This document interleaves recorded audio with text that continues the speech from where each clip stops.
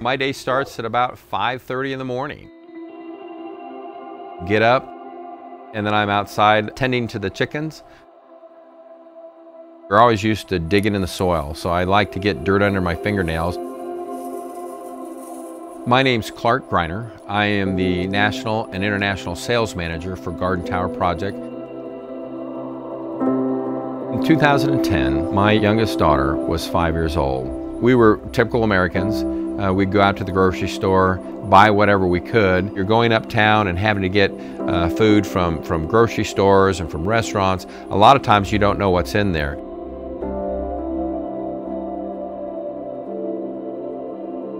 She was diagnosed with a brain tumor. Prognosis on this was quite scary. When you are told that, you're, you're just devastated.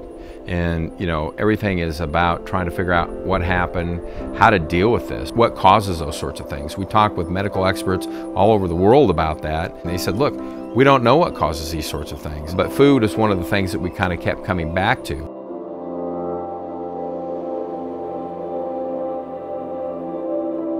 And so that led us to organic foods.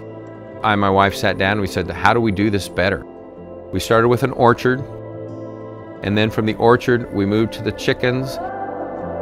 Then from there, we moved to the bees to help fruit trees be more fruitful. From there, we decided, you know, how are we going to use the garden tower in this and how many towers do we need? And we thought, well, we can grow a lot of vegetables in a very small footprint with a garden tower. Why don't we just take multiple garden towers and put them in a 10 by 10 and see what we can do? Several garden towers was a perfect solution for what we were looking for. It just helped complete the plan. A garden tower is a urban-friendly container garden that grows a high quantity of plants in a very small footprint. We put a nutrient tea drawer down at the bottom.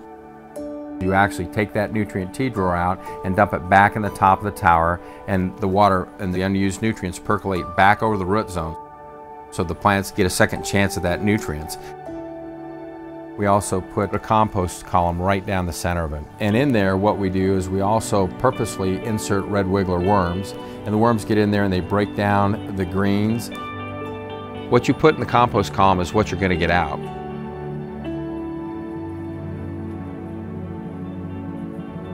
Uh, the products you eat and you bring into your kitchen actually are recirculated back into the tower and go through the composting process. But the funny thing is that they end up back in your kitchen.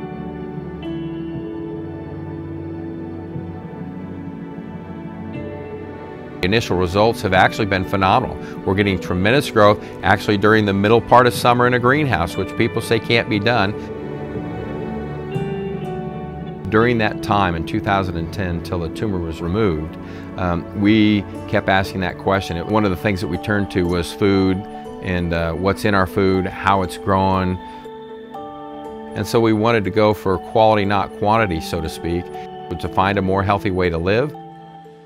That's why we got involved with uh, Garden Tower.